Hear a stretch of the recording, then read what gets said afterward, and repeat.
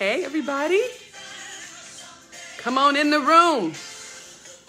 Now, I'm out into a little Donnie McClurkin. Pleasures, Lord. See, we don't ever know the words.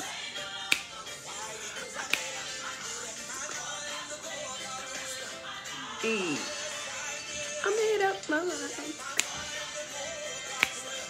Who we got in here? I'm so excited. Hey, Chuck. How are you, buddy? I got five of y'all. You guys know my um.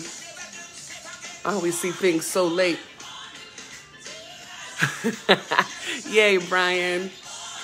Welcome. We're gonna have a good show today. Here we go. Say. What y'all know about the shoulder action for Jesus?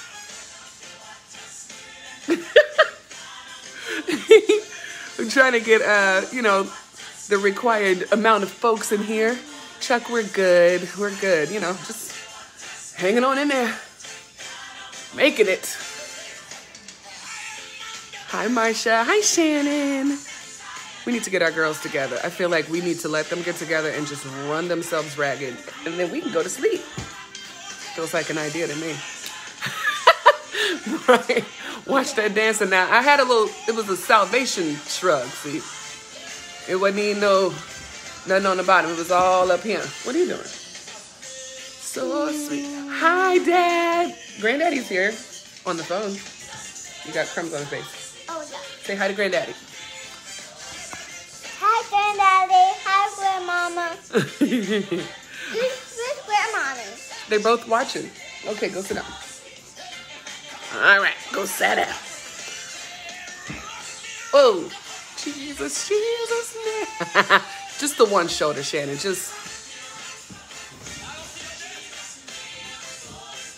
In college, our dumb butts used to ask um, if you could only dance with one body body part, what would you dance with? And mine was my shoulder. I just feel like I can be really ex- expressive with the shoulder. hi, Megan. Grandmommy says hi, Yaya. Listen. Oh, Granddaddy said hi, baby.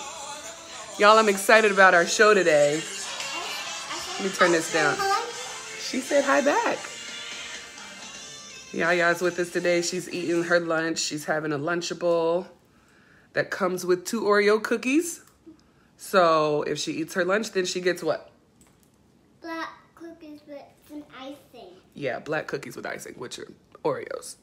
And for the lay people. the Hi, ice- Mallory. Which Hi, Court. Huh? I- which the icing is white. Yes, the icing is white. Indeed, indeed, indeed. All right, people. What is it? 304. We've got a lot to cover today. I um first of all, I want to at some point let you know that I am really proud of my um eyeshadow. Not be well, one, it's pretty. Two, it matches my Pac-Man pajama pants. Okay? So I'm feeling like I've accessorized. So I just wanted to share that with you. At some point, I will highlight so you can see just how well this blue goes with the blue of these Pac-Man pants. You got it. You know what I'm saying? I very rarely have a reason to get dressed up. So I got kind of dressed up, but my face is beat to match my Pac-Man pants. That is top notch television. okay, people. So I asked you, wonderful folks, um, to weigh in on some stuff. Wait, wait, wait, wait, wait, wait, wait, Jesus. Uh, Lord, I started. Stop it. Get off me. I need to pass gas. Yasmin Rose. No, no, no, no, no, no. Go, go to, go potty. If you need to do that, you don't do that here. She, I don't know if you heard that, but she uh, announced that she needed to pass gas and then did. So, we're a class act over here. Did you say ew? Did this say ew? Just say ew. Did those guys said ew? Yeah, they probably did. If yeah, okay. No more talking or pooting. Okay. So I asked. No um more talking, singing, zap. Now she's quoting The Little Mermaid. She said, "No more talking, singing, zip." All right. So excuse all of this. Wait, da, da, da.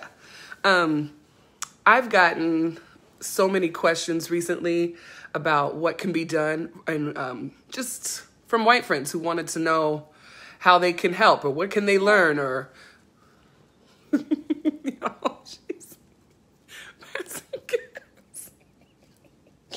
oh God.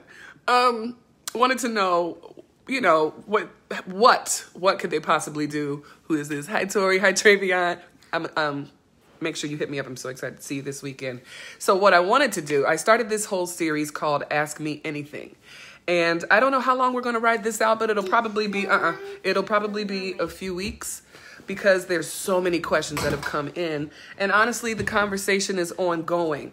So, um I had two questions set. Please don't do that. I had two questions set and ready to answer, and then I got another one in, and I snuck a third question in at the last minute. And honestly, I'm I've been so pleased reading all of the comments because um, we're not. It's not one stop shopping. All of us feel differently about different matters. There is a lot on which we agree, um, but there's you know it's it's good to get several perspectives. And so um, I thank all my POC peeps, my, my persons of color.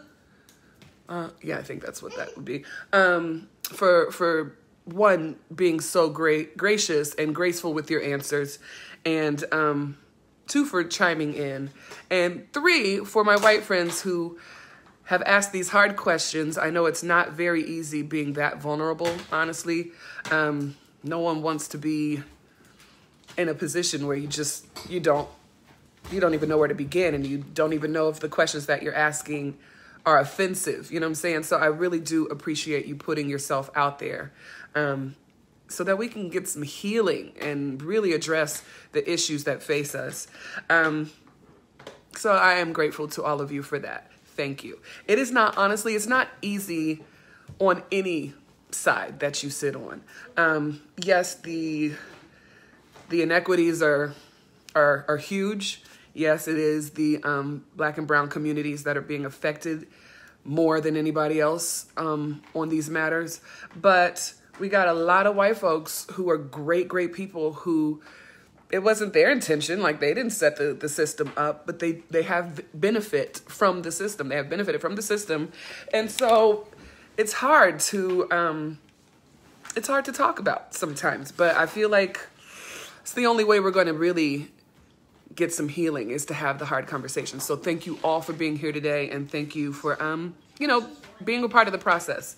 All right. So, um, if you're just joining in and you don't know what I've done, I asked my friends who were non-POC, do not identify as a person of color, if they had any question that they could ask um, without, you know, fear of judgment or whatever, what would it be? And to send those to me. Um, and then I posted those and asked my persons of color friends to address them. And now we are going to get into it.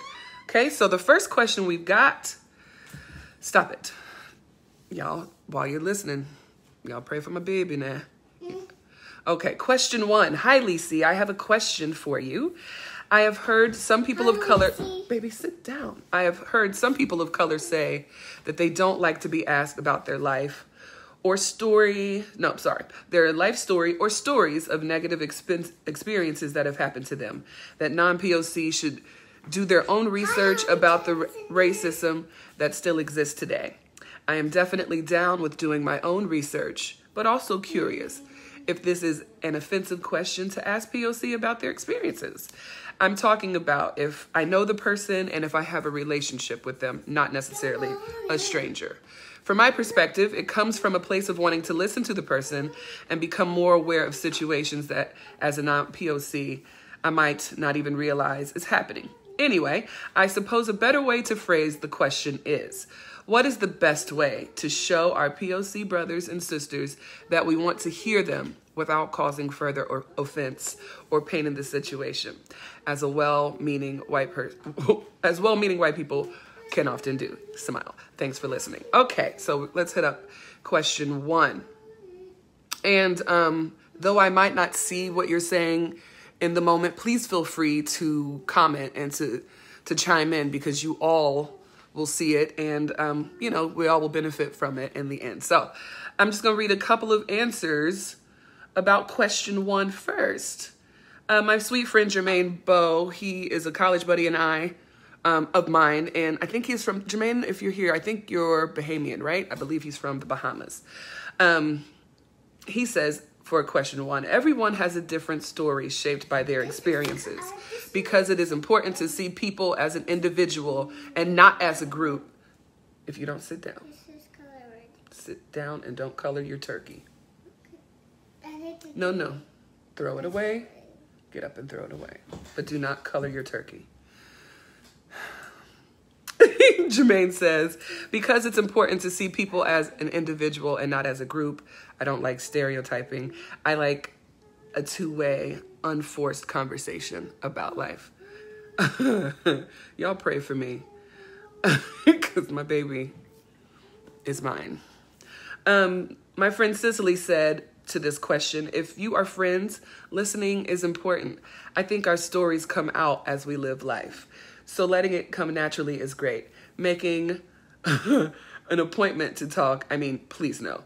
Also, timing. For me, when George Floyd was lynched by police, I was in no mood to even tell a white friend how I was doing, much less, uh, sorry, y'all, I can't read, how I was doing. Much like in any high stress situation, a loss or a loved one or job or whatever, answering questions from a friend just isn't it, but being available is.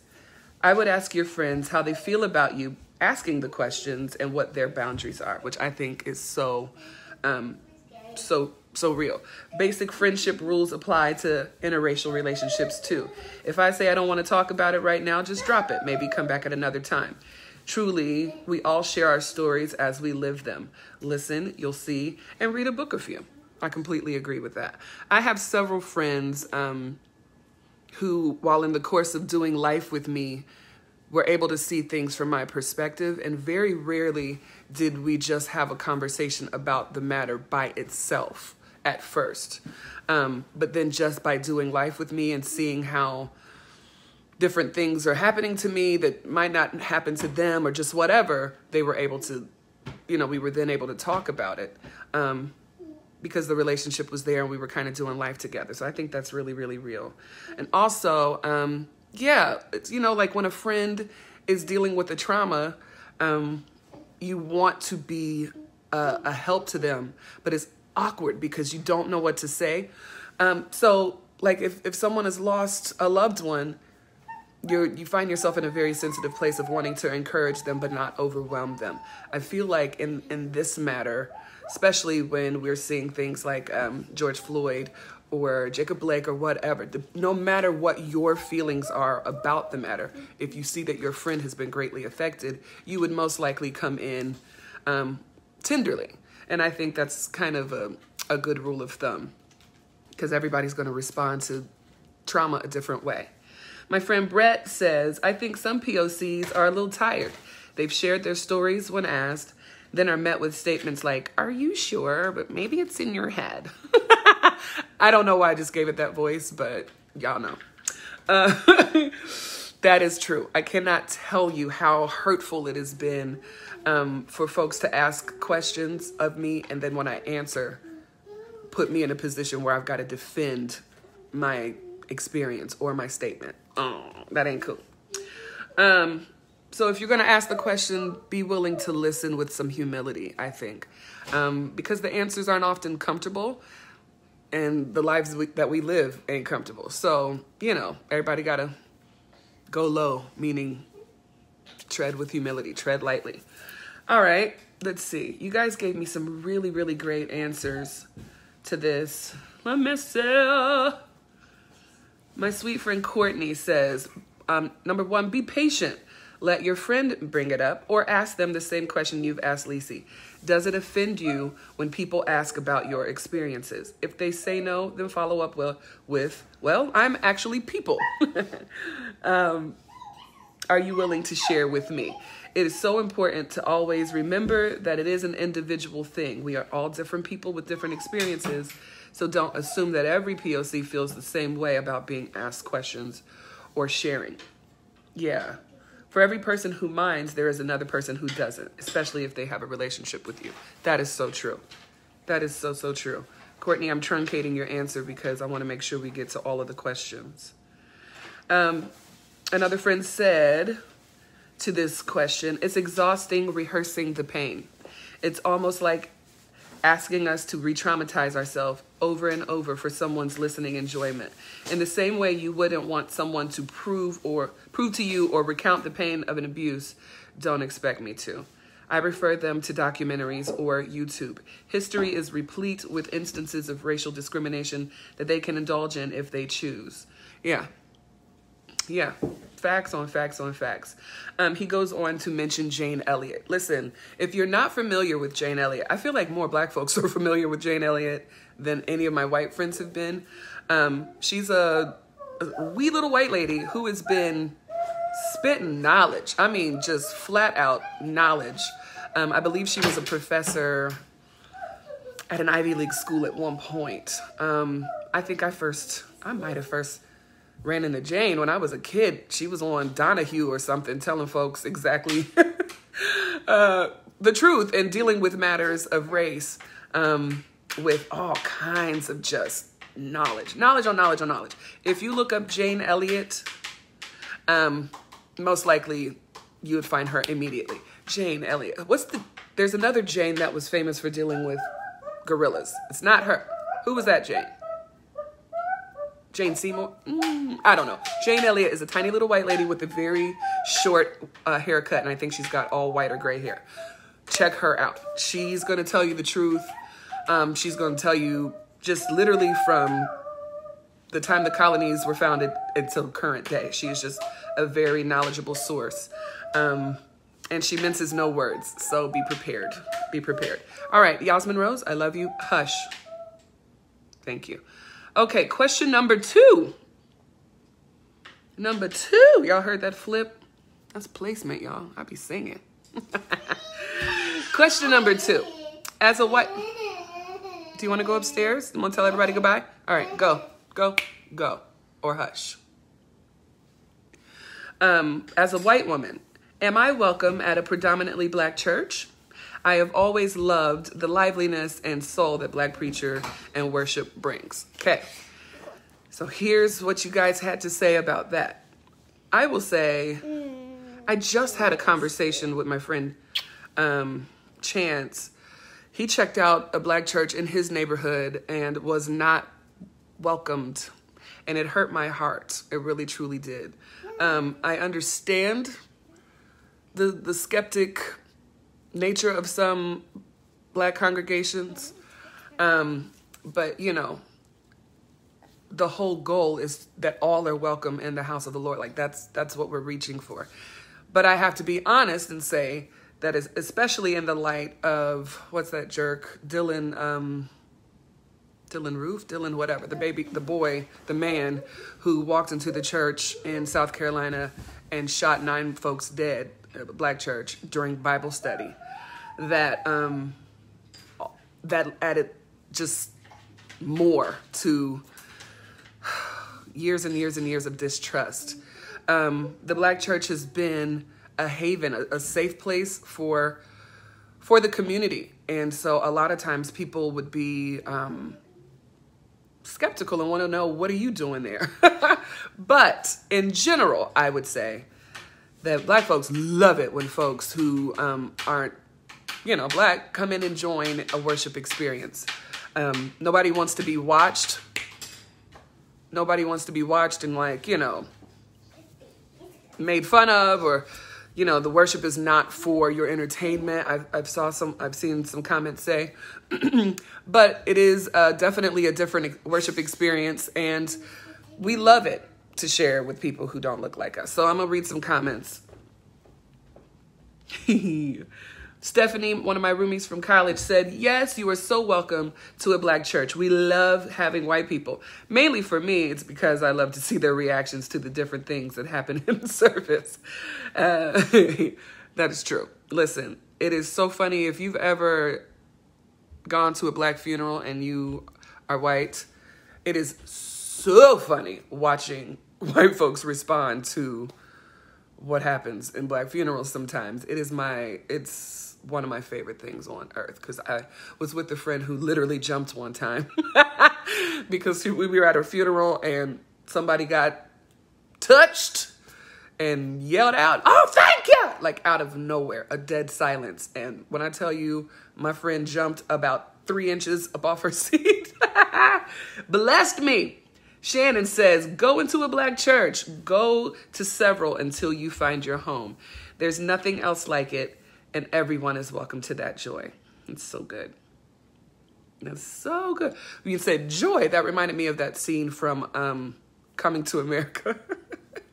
when they, you know, with the Randy Watson, when they were like, say joy, joy. And Hakeem and them, being from Africa, had not been in a black church experience. And they were like, joy. And Hakeem was like, joy. That's what that made me think of. And then the lady behind her was like, amen, amen, brother. Okay, sorry, I'm going in. Um, maybe watch Coming to America. okay, question two. My uh, Brett says, honestly, some black churches are a little suspicious of whites. This isn't a majority of them. It might be good to go with a friend. Yeah. Yep, yep, yep, yep, yep. Let us see, let us see. Oh, somebody had made a really great comment. Hmm. Sorry, I'm, I'm scrolling. Courtney says, Yes, you are always welcome, but remember every church is different, and unfortunately, some churches are less welcoming than others. And if you find yourself feeling unwelcome, it's most li- it, mo- it most likely would have nothing to do with you being white and everything to do with that individual church's culture on how they treat guests. Keep visiting different ones if you're feeling unwelcome at a church. I know you would always be welcome and embraced at my church. That's so true. Honestly, I've spent so much time in white churches. Um, and it was a big, big adjustment for me. Like my family came up apostolic and charismatic and Pentecostal. Um, in majority black churches, we might have had a white. Shelly, are you on here? Shelly would be the white that was at the church I grew up in. Um, and then when we made the switch looking for other churches, we went through several and we were not always very welcomed. You could sometimes just feel tension and that sucked. It really did suck. Um, and even in the church that we, my parents ended up being at for a long while and my dad ended up being on staff there. At first it was, it was an interesting adjustment. Um, but eventually we were we became very very loved congregants at that church and we served there um, and loved everyone there and these people are still a part of our lives so if you are willing to be uncomfortable and be in a space um, that you're that no one looks like you welcome to our world and please i would love for you i feel like everybody should have an experience in cultures outside of their own. Um, my my sister Paige, she is Jewish. We have been with her in in synagogue. Um, gone to worship with Catholic friends. Um, just I think we only grow by exposing ourselves to things that we are not comfortable with and things that we didn't grow up with. So go to your black church somewhere, ask a friend where they go, maybe see if, that you can sit with them so that you don't feel so alone or go by yourself either way. And if you are um, met with a little bit of tension that's not a reflection of the entire black church culture. So just go until you find one that's like yeah yeah yeah yeah this is home. Gosh we only have six more minutes left and we have one more question. Let's see okay the final question. Okay, so for me, who at almost 60 years old from Alabama realized I have missed out on so much black history, what can I do to better understand and be proactive in the discussion of racial injustice? Even though I grew up with people of color and one of my best friends was black, I had no exposure to historical events besides movies that showed slaves watched the whole miniseries Roots and was so taken aback by the cruelty. And then movies taking place in the South before and during the 60s. It amazed me that anyone could treat another human being that way. But I feel like me feeling bad for what happened is just not enough because now I realize what makes me uncomfortable is a tiny, minuscule fraction of what Black people have actually had to live out. And what's even worse is my denomination has remained quiet and was so involved in much of that abuse. So, as an independent, believing in Jesus person, what can I do so that people of color know that I am sorry and am wanting to bridge the gap? I can walk downstairs. uh, I would say that um, Excuse me, Mom. I can walk down the stairs on Auntie self. that's remarkable. Can you walk over here and sit down, be quiet? Thank you. I would say that um, saying that you're sorry is important, and um, I think it probably would feel maybe better for you than it might be for the person you're saying it to. But I get the sentiment. Um, it feels a little awkward for me when when white folks apologize because I know good and well you didn't do anything. Um, but that you do benefit from the way that this country was founded and the systemic racism that exists. So it's a little bit awkward sometimes because it's, what do I say to your apology? Like, thank you. um, but I also know that a lot of times when folks are apologizing like that, it is very well intentioned. And so I will say thank you. It just feels a little bit weird because I'm like, I know you didn't do anything.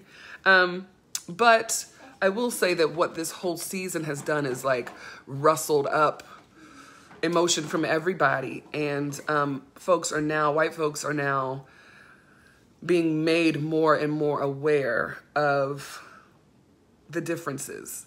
And that does not feel good for either side. So I really do appreciate um, the sentiment. I really, I really do. But don't be surprised if you say I'm sorry to someone and they don't really know how to respond. It's not um, because they're being mean. It's just we are so used to bearing this burden alone or quietly or just, you know, in our own community that we don't really know exactly what to say sometimes when, when you say that. But I do really appreciate that. Okay, so let's get into some of these answers. letter, not letter lower. Question three. Um, Courtney says, I get why it may be important for you. No, I get why it may be important to you to let people know you're sorry. But let me say this it can't be your primary motivation. I think any reasonable person, reasonable person, especially a true believer, would want to distance themselves from those who committed atrocious acts against or supported horrible injustices towards blacks historically. However, I would first encourage you to resist the temptation to want to be excluded from the guilty just because you don't want to be considered guilty. The best motive to prioritize is your desire to learn for the sake of understanding and reconciling, without it mattering what others thinks what others think of you. When you know you have done the work of seeking the truth, it doesn't matter what others thinks what others think. Y'all, I'm so sorry. I'm not reading well. Um, my attention is pulled every which way, and I'm so sorry for that. Um, what matters most is how you how your mind has been changed and renewed. Boom. What matters most is how your mind has been changed and renewed. That's good stuff. There are lots of books and resources, and it's never too late to begin learning. Search Google, YouTube, and li- library resources. Find a Black or African American museum in or near your area and begin going in person or online. Since George Floyd's death, all of the video streaming services have curated playlists of movies and documentaries. Goodreads has curated a book list, or you can Google that too. Yeah, one way you can bridge the gap is inviting others on the journey with you to learn and to hold you accountable, like a book study, town hall talk, prayer, and discussion. I love that. I love that. Yeah, I love that. Um, Grand, yeah, grandmommy, she wishes she could be at y'all's house and riding a bike. I think she said. Um, I like that, Courtney. Um, I have a friend who, no, hush. I have a friend who was a pastor's wife. Um, they're white, and they started a group at church um, where they were intentionally doing book club type things or having discussions amongst themselves.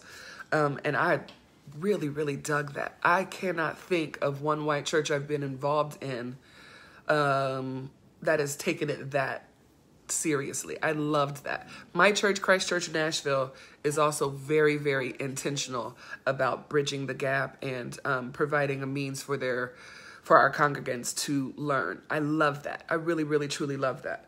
Um, these documentaries that are on there's so many that are on netflix they're literally all this all the uh, streaming services have them but um there's several on netflix that i really really liked. One being i think it's called 13 either 13 or the 13th it's about the 13th amendment. Um yeah you literally can look on any of these streaming services and they have a black lives matter collection. Um so check those out. I also want to say, because you'll see BLM collection, um, do not be put off by the BLM. I know that there is much concern about the Marxists in the Black Lives Matter organization. For 90% of us, Black Lives Matter is a statement, and that is what we are talking about we are not necessarily backing the organization. However, the the organization has done a lot of really good work and has pushed these issues to the forefront. So you'll see them intertwined. Don't be put off by three letters. Um, if you're willing to learn and you're willing to do the work and you're willing to um, dig in, the information is there for you. But you're gonna, it's gonna be uncomfortable. You're gonna be uncomfortable. So, you know, dig in just dig in. We are, it's at 3.32. Should I go a little longer should I shut up? What y'all want me to do? Shut up. Oh! Who are you talking to? y'all, this might be my last show. Okay, let's see what else my friends have said. I think I'm gonna go to 345. Brian says go on. Yes, Black Lives Matter too also additionally. Thank you, mom. Dre, keep going. All right, I'm gonna keep going. Um, let's see. For question three, uh, Kim Moon says you need to make a financial investment. Currency and black pain go hand in hand. Racial capitalism and brown bodies are what fueled the wealth of the country and still does. From the start of slavery, Jim Crow, housing, education and the prison prison system. If you feel bad, you need to work with your elected officials to push for reparations and start giving black family school schools, organizations, single moms, moms, whatever, some money. Leave your inheritance to black organizations. Pay for black kids' tuition. Feelings don't make nearly the difference as as currency. Okay. Put your money where your mouth is. I heard that. Sorry, I'm getting all jumbled here. I want to make sure that I'm answering the right question with the right comment. Um, mm, yeah, I think that might be all the answers we have on three. Oh, nope. My friend said, educate yourself. Number three, educate yourself. It's that simple. Most of us black people were not taught our history either. It's very true. We are taught a very limited scope of black history. In school, we're going to hear a lot about slavery.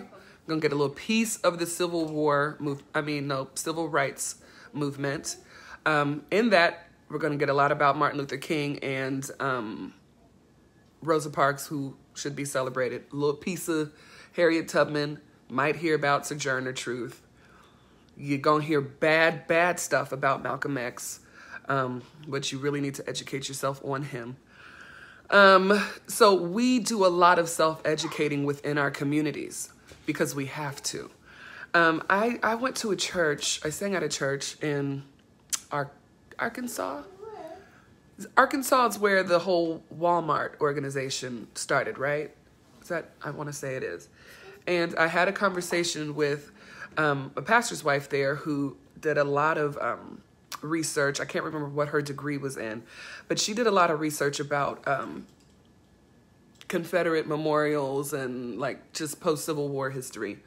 And um, she explained to me, which I don't think I realized, I was aware, but I don't think I realized that um, most of the books that the school children were given in the South and probably all of America, but definitely in the South, history books and all of that, that they were giving to our black children came from the daughters of the Confederacy or the daughters of the American Revolution. So you can imagine then that what we have been taught has not been um, created with our best interest in mind or even the entire truth or in some cases the truth at all. So we have always had to seek knowledge for ourselves. We come from kings and queens and royalty. We barely ever hear about the the great uh, royal kingdoms that we came from and, and, and our actual making. Um, they want to whitewash everything. That's why you see Cleopatra being played by white women. um, that's why I got an a F or a D on a paper one time for a Black History assignment where I wrote about the great feats that the Egyptians had um, mathematically and in science. And my teacher wanted me to write it over again because he said that they, were white. You, my teacher, my history teacher, wanted to fail me on a paper because I called Egyptians African, thusly black. So we have had to do a lot of self-educating. You will have to do the same.